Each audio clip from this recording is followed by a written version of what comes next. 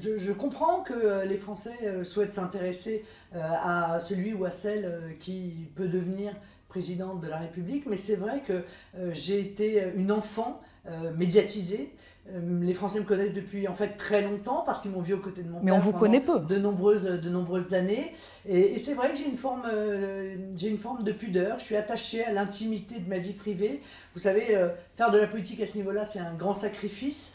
et si on arrive à préserver un tout petit peu de cette vie privée que l'on doit à sa famille, à ses enfants, à ses amis, bien il ne faut pas s'en priver et je suis convaincue que les Français comprennent ça aussi.